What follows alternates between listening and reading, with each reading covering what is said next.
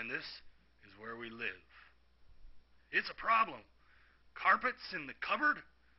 I mean, really. Oh, I'm getting stewed.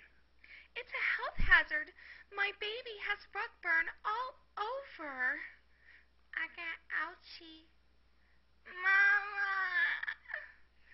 I'm really worried that he doesn't have enough nutrition. There's so much we could do if we won that 25 grand from Home Depot. Oh, honey. Look at that. Whoa, check out the curb appeal. Honey, look at all this space for us. Smooth wood walls. Oh, it's beautiful. I love you. Mwah. Home Depot, we would love this new home. Hi, we're the Sawatzkis. I'm Shanna. I'm Jason. And this is the house.